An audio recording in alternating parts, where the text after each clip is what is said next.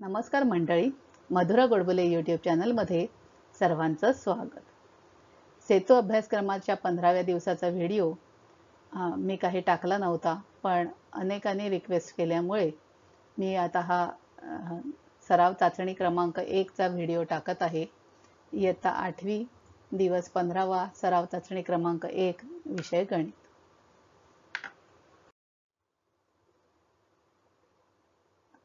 सराव चाचणी क्रमांक एक ही चाचणी पंधरा गुणांची आहे आणि एक तास यासाठी वेळ आहे.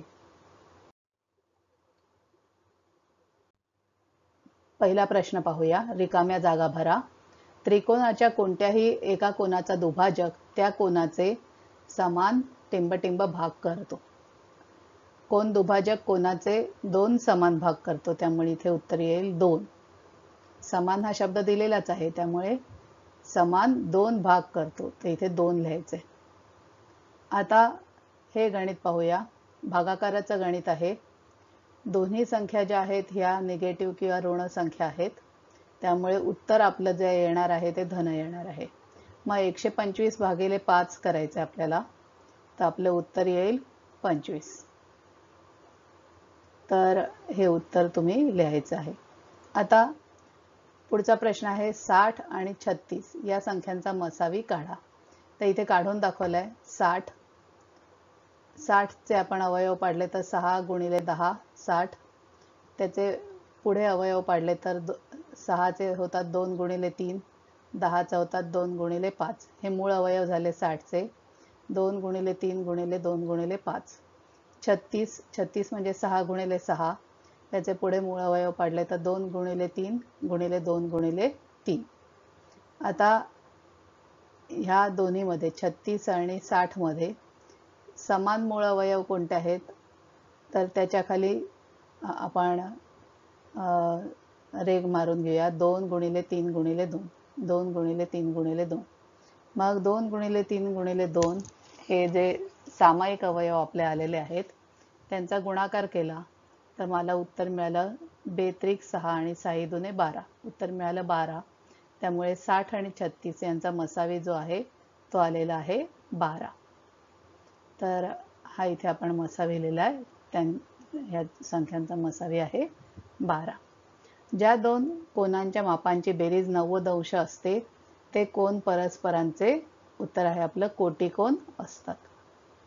आता हा प्रश्न होता दोन पूर्णांक एक छेद सात अधिक नऊ छेद अकरा. तर यांची बेरीज करायची. तर ही बेरीज कशी करणार?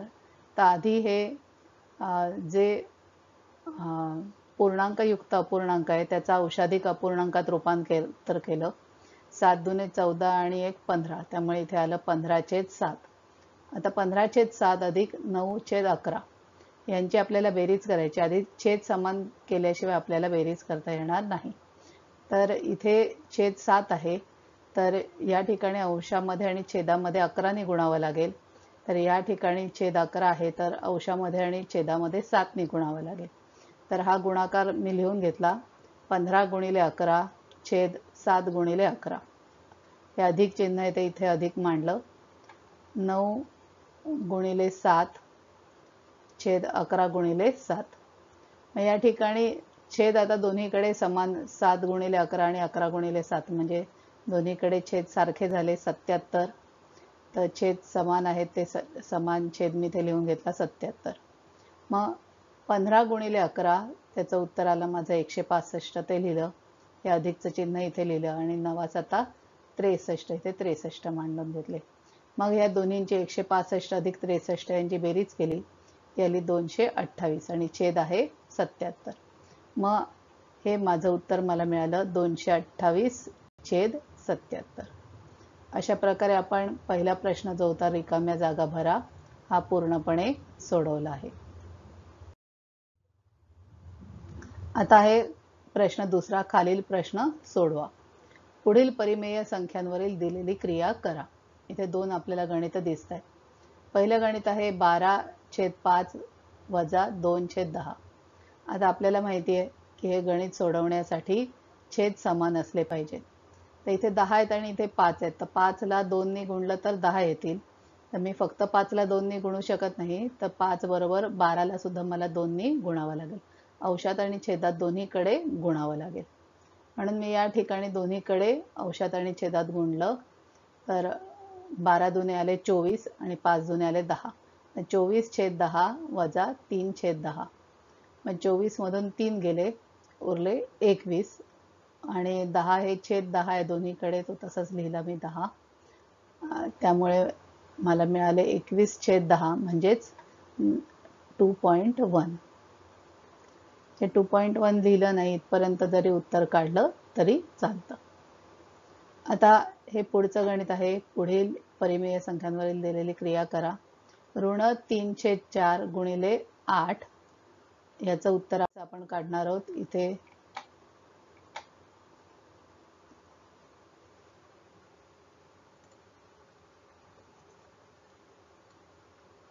इथे आपण भागाकार करून घेणार.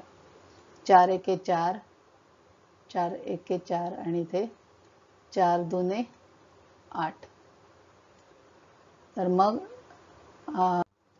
ऋण तीन गुणिले दोन ऋण तीन गुणिले दोन मला उत्तर मिळालं ऋण सहा छेद एक. म्हणजे तो नाही लिहिला तरी छेद एक नाही लिहिला तरी चालतो. त्यामुळे माझं उत्तर आलंय ऋण सहा.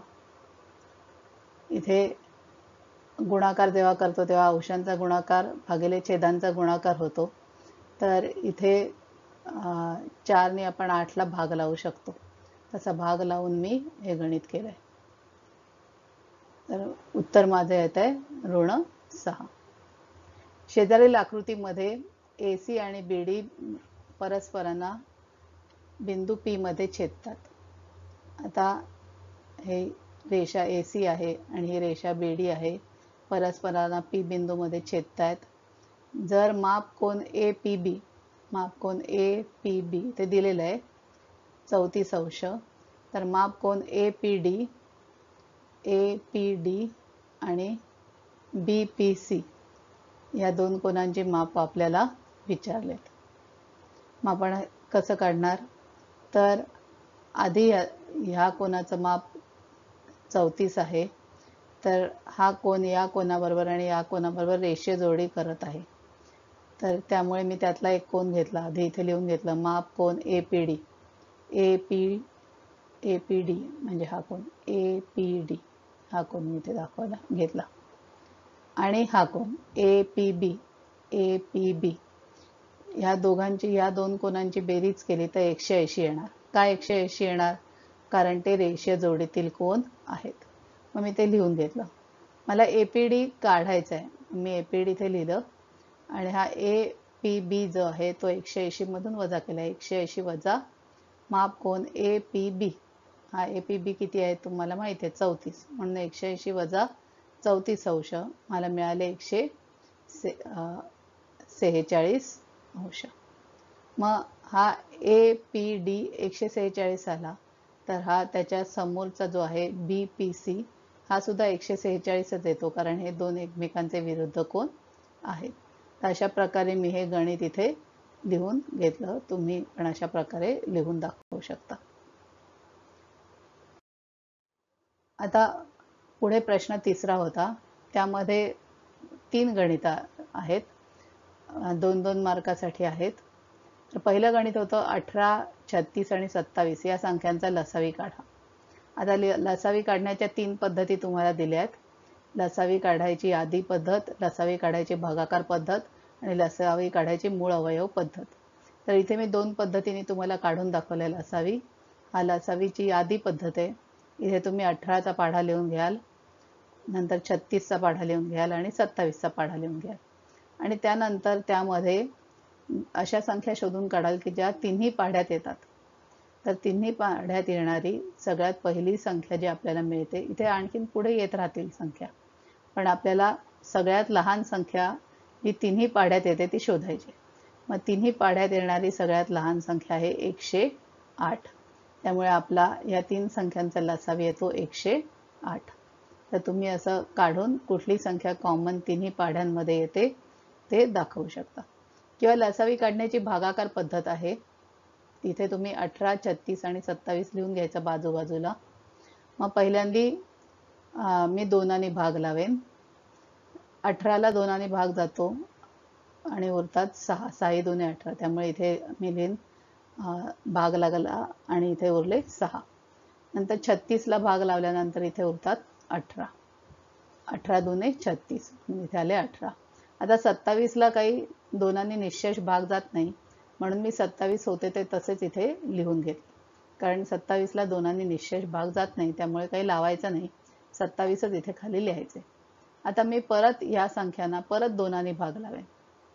कारण ह्या दोन संख्या आहेत त्यांना दोनांनी भाग अजून निशेष भाग जातोय. जोपर्यंत जातोय तोपर्यंत दोनाने भाग लागत राहायचं. दोनाने भाग लागत नाहीचं झालं की मी तिनाने लावून बघायचं. तिनाने लावू लागत नसेल तर मग पुढे पाचाने लावून बघायचं. तर आता इथे अजून ह्या संख्यांना दोन संख्यांना अजून दोनाने भाग जाईल. म्हणून मी परत दोनाने भाग दिला. बे त्रिक सहा म्हणून इथे तीन दिले. बे नव्वे अठरा म्हणून इथे नऊ दिले. आणि सत्तावीसला काही निशेष भाग जाणार नाही म्हणून मी सत्तावीस इथे तसेच लिहिले. आता या संख्या आहेत या सगळ्या विषम संख्या आहेत याला दोनाने भाग आता नाही जाणार. म्हणून मी आता भाग देणार तीनाने. मग बा- तीनाने भाग दिल्यावर तीन एक एक तीन तीन त्रिक नऊ आणि तीन नऊ सत्तावीस. मग इथे नऊ आले. एक इथे एक आला इथे तीन आले इथे नऊ आले. आता परत मला भाग द्यायचा आहे. तर इथे आणि इथे अजून तीनाने भाग जाईल. म्हणून मी परत इथे तीनने भाग देणार आहे. इथे एक आहे त्यामुळे याला काही जाणार नाही. म्हणून इथे एक तसंच लिहून घेतला. मग मी भाग दिला इथे. तीन एके तीन म्हणून इथे एक लिहिलं. आणि तीन त्रिक नऊ म्हणून इथे तीन लिहिलं. मग परत याला अजून तीनाने भाग जाणार आहे. इथे एक शेवटी एक एक एक येईपर्यंत आपल्याला गणित करायचं आहे. याला तिनाने भाग जाणार आहे. म्हणून मी परत तिनाचा भाग लावला. तीन इथे काहीच येणार नाही. हे एकच परत मांडले आणि इथे फक्त लागेल भाग. म्हणून तीन एक एक तीन. म्हणून इथे एक लिहिला. आता सगळीकडे एक एक एक आलंय म्हणजे आपलं हे गणित पूर्ण झालंय. मग आपल्याला ह्या ठिकाणी ज्या संख्या मिळाल्या त्या संख्यांचा गुणाकार म्हणजे आपला लसावी असणार आहे. मग या संख्या मी इथे लिहून घेतल्या. दोन गुणिले दोन गुणिले तीन गुणिले तीन गुणिले तीन. मग हा गुणाकार केला मी. आणि हा गुणाकार केल्यानंतर मला गुणाकार मिळाला एकशे आठ. तर अशा प्रकारे दोन प्रकारे मी तुम्हाला लसावी काढून दाखवलं. लसावी काढण्याची ही आधी पद्धत आहे. तर लसावी काढण्याची ही भागाकार पद्धत आहे. त्यानंतरचं आपलं गणित होतं हे. यामध्ये सुद्धा आपल्याला गुणाकाराची ही गणित दोन दिलेली आहेत.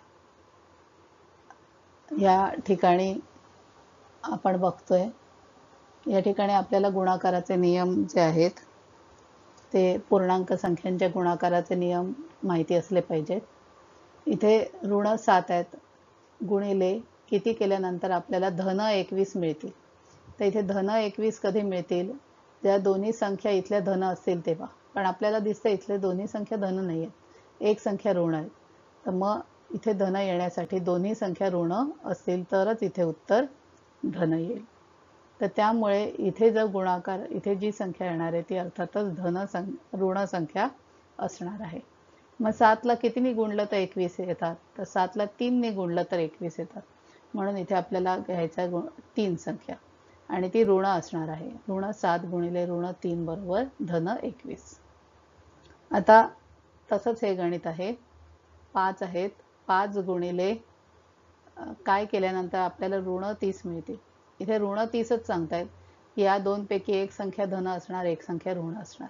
इथे दिलेली संख्या धन आहे म्हणून इथे न दिलेली संख्या जी आहे ती ऋण असणार आहे.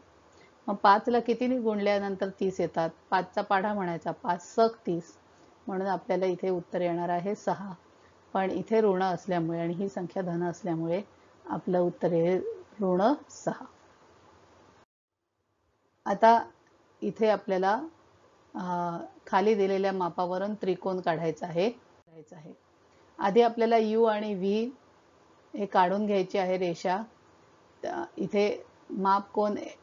एस यू व्ही नव्वद दिलाय. यू व्ही दिलंय सात सेंटीमीटर आणि एस व्ही दिलंय नऊ सेंटीमीटर. मग कसं त्रिकोण काढायला कशी सुरुवात करायची? तर आधी आपण यू व्ही सात सेंटीमीटर यू आणि व्ही ही हा जो रेषाखंड आहे हा सात सेंटीमीटरचा रेषाखंड मोजून पट्टीने मोजायचा आहे आपल्याला. मी इथे तुम्हाला पी पी टीमध्ये दाखवू शकत नाही आहे तुम्ही पट्टीने मोजून हा यू व्ही रेषाखंड बरोबर सात सेंटीमीटरचा काढाल. आता या ठिकाणी तुम्हाला इथे दिसतंय एस यू व्ही हे तुम्हाला या ठिकाणी कोण काढायचा आहे आणि त्या कोणाचं माप नव्वद असायला हवं आहे मग एकतर तुम्ही कोण मापकाने मोजू शकता किंवा गुण्याच्या साह्याने सुद्धा तुम्ही इथे नव्वद मापा नव्वद बरोबर माप घेऊन रेषाखंड काढू शकता. तर या ठिकाणी आता गुण्याच्या साह्याने किंवा कोण मापकाच्या साह्याने तुम्ही इथे काढून घ्याल. हा किती मापाचा काढायचा हे तुम्हाला माहिती नाहीये. त्यामुळे तुम्ही लांब लचक असं हा रेषाखंड काढून ठेवाल. आता आपल्याला इथे या रेषेवर आपल्या या यू पासून आता ही जी आपण नव्वद अंशाचं कोन घेऊन हा जो रेषाखंड काढला यावर कुठेतरी आपल्याला हा एस बिंदू मिळणार आहे. पण तो एस बिंदू नक्की कुठे असेल हे आपल्याला माहीत नाही. मग ह्या एसपासून ह्या व्ही पर्यंत अंतर जे आहे इथे या यावर कुठेतरी एस बिंदू असणार आहे. पण एसपासून ह्या व्ही पर्यंतचं अंतर जे आहे ते नऊ सेंटीमीटर असणार आहे. मग काय करायचं? कंपॉसमध्ये कंपॉसला पेन्सिल लावायची. कंपॉसचं लोखंडी टोक इथे व्हीवर ठेवायचं. आणि पट्टीच्या साह्याने कंपॉसमधलं अंतर हे लोखंडी टोक आणि पेन्सिलचं टोक यामधलं अंतर बरोबर नऊ सेंटीमीटर मोजून घ्यायचं. लोखंडी टोक इथे व्हीवर ठेवायचं. आणि मग ते एवढं अंतर घेऊन पेन्सिलने इथे एक कंस काढायचा. हा कंस काढल्यानंतर हा कंस या रेषेला जिथे या रेषाखंडाला जिथे छेदतोय तिथे तुम्हाला एस बिंदू मिळणार आहे. तिथे नाव देऊन घ्यायचं एस जो कुठे इथे ज्या ठिकाणी तो तुम्ही कंस काढणार आहात तिथे तुम्हाला तो छेदन बिंदू मिळेल. तिथे एस नाव देऊन घ्या कुठे येईल त्या ठिकाणी. आणि मग एस आणि व्ही जोडल्यानंतर तुमचा हा त्रिकोण काढून पूर्ण होईल. इथे मी काढून दाखवू शकत नाही पीपीटी मध्ये. ते तुम्ही कसा काढायचा तुम्हाला सांगितलं आहे तो तुम्ही पूर्ण करून हे गणित पूर्ण करायचं आहे. धन्यवाद. हा व्हिडिओ तुम्हाला आवडला असेल तर लाईक करा शेअर करा आणि चॅनल अजून सबस्क्राईब केलं नसेल तर चॅनल सबस्क्राईब करा. धन्यवाद.